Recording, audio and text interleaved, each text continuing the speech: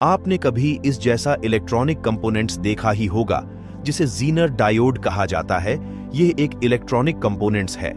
ये Zener effect नामक प्रक्रिया का उपयोग करके काम करते हैं। इसमें पॉजिटिव और नेगेटिव टर्मिनल होते हैं। यह हाईली डोपिंग सेमीकंडक्टर मटेरियल से बना हुआ है और इसे वोल्टेज रेगुलेटर में उपयोग किया जाता है।